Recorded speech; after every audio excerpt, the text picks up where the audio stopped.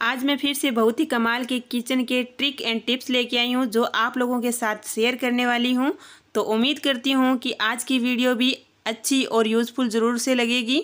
Video को and तक ज़रूर से देखिएगा, क्योंकि कमाल के टिप्स हैं, जो हमारे डेली के रूटीन में काम आने वाले हैं, जो हमारे किचन के काम को और आसान और बेहतर बनाने वाले हैं। नमस्कार दोस्तों, आपका स्वागत है तृष्टिका किचन्स में। तो आज की फ़र्स्ट टिप्स टमाटर को लेके हैं। जब भी हम हमारे घर पर टमाटर लाते हैं तो इसको हम क्या करते हैं, फ्रीज़ के अंदर रख देते हैं और चार पाँच दिन के अंदर अगर हम यूज़ में नहीं लेते तो ये टमाटर ख़राब होने लग जाते हैं। आज मैं आपको बताऊँगी कि लंबे टाइम तक हम टमाटर को कैसे स्टोर करके रख सकते हैं। तो हम इस तरीके की एक पॉलीथीन लेंगे और उसके अंदर सारे टमाटर डाल देते हैं। फ्रेंड्स, ध्यान ये रखना है, हमारे को कि इसके अंदर कोई भी ख़राब टमाटर ना डालें। बिल्कुल फ्रेश और पके पके टमाटर हमें इसमें डालने हैं। सारे टमाटर डालने के बाद हम इस थैली को अच्छे से कवर कर देंगे। ये देखिए इस तरीके से। इस थैली के अंदर बिल्कुल भी हवा नहीं रहनी चाहिए और अब हम एक कैंटीनर लेंगे और उसके अंदर ये थैले डाल देते हैं।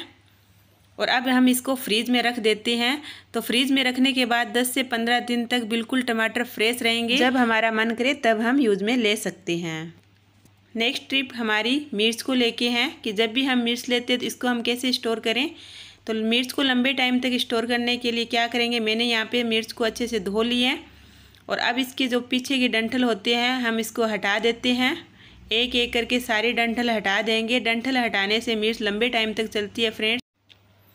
यहाँ पर हमने सारी डंठल हटा दिए हैं एक एक करके। और अब हम लेंगे एक कैंटीनर। और इस कंटेनर के अंदर हम ये सारी मिर्च डाल देते हैं। और इसके ऊपर हम क्या करेंगे, इसका ढक्कन लगा देंगे अच्छे से। जो ढक्कन इसके अच्छे से कवर हो, वहीं लगाना है। तो ये देखिए, और अब इसको हम फ्रिज में रख देते हैं। ये भी बिल्कुल फ्रेश रहेंगी।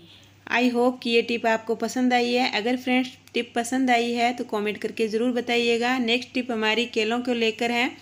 कि केले को चार पाँच दिन के लिए फ्रेश कैसे रखें?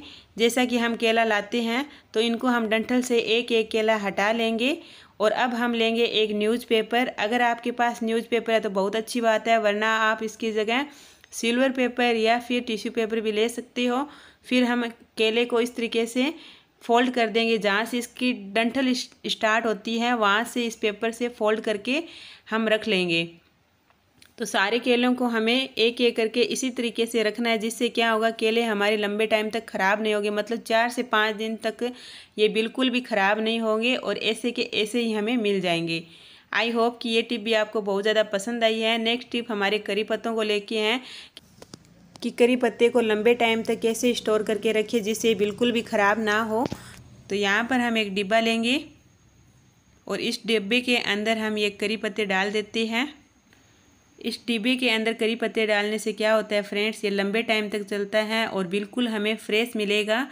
ये सूखेगे भी नहीं, इसके अंदर बिल्कुल जैसे हमने तोड़ के रखे हैं वैसे ही मिलेंगे। इसके ऊपर हम ढक्कन लगाकर इसको हम फ्रीज में रख देते हैं और 10 से 15 दिन तक आराम से इसका यूज़ में ले सकते हैं।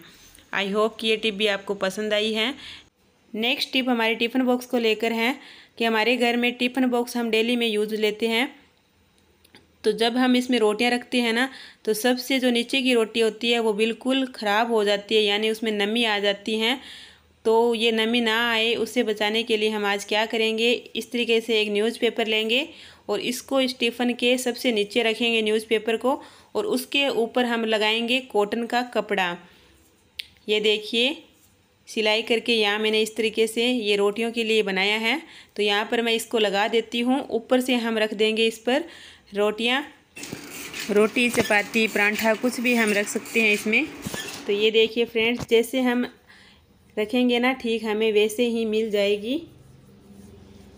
और इसके ऊपर हम एक कॉटन का कपड़ा और लगा देते हैं, जिससे क्या हम, क्या होगा, हमारी रोटी बिल्कुल फ्रेश और गर्म मिलेगी। और ये न्यूज़पेपर की वजह से जो नीचे की रोटी है ना, वो भी ख़राब नहीं होगी। आई होप कि ये टिप भी आपको बहुत ही ज़्यादा पसंद आई है। अगर वीडियो थोड़ी सी भी पसंद आए तो लाइक ज़रूर कीजिएगा। नेक्स्ट टिप हमारी केले के छिलकों को लेकर है कि जब भी हम केला लाते हैं घर में तो इसके छिलके फेंक देते हैं। तो इससे आज मैं आपको गैस साफ़ करना बताऊँगी, बहुत ही अच्छे से और क्लीन हो जाएगा। आप देखिएगा। तो यहाँ पर ये मैंने छिलका लिया है। और इसको इस तरीके से गैस पर अच्छे से रगड़ेंगे। तो जितने भी गैस पर गंदगी होगी ना, जैसे तेल के छींटे, कुछ भी ऑयल लगा हो तो ये बिल्कुल साफ़ कर देगा और गैस बिल्कुल चमक मारने लग जाएगा। इस तरीके से रगड़ने से तो हम क्या करेंगे? इस केले को छिलके को लेकर बड़े ही आराम से, अच्छे से रगड़ रगड़ के चारों तरफ़ से अच्छे से साफ़ कर देंगे। यहाँ तक कि इसके स्टैंड को भी हटाकर हम नीचे से अच्छे से साफ़ करेंगे और साफ़ करने के बाद हम इस तरीके का एक टॉवल लेंगे और उससे अच्छे से फिर से एक बार साफ़ कर देते हैं। तो ये देखिए फ्रेंड्स, अच्छे से साफ़ करने के बाद ये देखिए गैस कितना क्लीन लग रहा है, ऐसा लग रहा है जैसे अभी नया लेके आए हो। तो आप भी इस तरीके से एकदम क्लीन और साफ़ कर सकते हो केले के छिलके से। आई होप कि ये वीडियो भी आपको बहुत ज़्यादा पसंद आई है। अगर ये वीडियो पसंद आए तो इस वीडियो को लाइक शेयर एंड चैनल को सब्सक्राइब ज़रूर कीजिएगा। नेक्स्ट टिप हमारी मसालेदानी को लेकर है। देखिए, यहाँ पर ये कितनी गंदी हो गई है। हम इसको डेली में यूज़ में लेते हैं और जब भी हम यूज़ में लेते हैं, कई बार क्या होता है, जल्दबाजी में हमारा मसाला इसके नीचे गिर जाता है और ऐसे इकट्ठा हो जाता है बहुत ज़्यादा। तो ये अच्छे से और एकदम क्लीन रहे। इसके लिए हम क्या करेंगे? सबसे पहले तो जो मसाले के बॉक्स हैं, उनको हम हटा लेते हैं और उसको अच्छे से वॉश करके क्लीन कर लेते हैं इस तरीके से। और अब हम यहाँ पर क्या लेंगे? एक न्यूज़पेपर इस न्यूज़पेपर को इसके साइज़ के अनुसार हम फोल्ड कर लेते हैं। तो यहाँ पर मैंने ये डबल न्यूज़पेपर लिया है। आप चाहे तो इसको सिंगल भी ले सकते हो।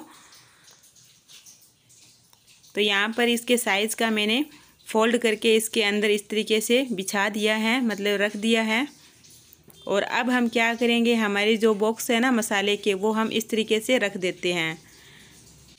ऐसा करने से फ्रेंड्स, ये मसाला दानी बहुत ही अच्छे से क्लीन रहेगी और जब भी हमारे को ज़रूरत होगी या फिर जल्दबाजी जल्दबाजी होगी तो मसाला अगर नीचे गिर भी जाएगा तो हम इसको ऐसे अच्छे से क्लीन कर लेंगे या फिर हम न्यूज़पेपर को चेंज कर लेंगे, जिससे मसाला देखने में बहुत अच्छी लगेगी और बिल्कुल क्लीन रहेगी। आई होप कि ये सारी टिप्स आपको बहुत ज़्यादा पसंद आई है।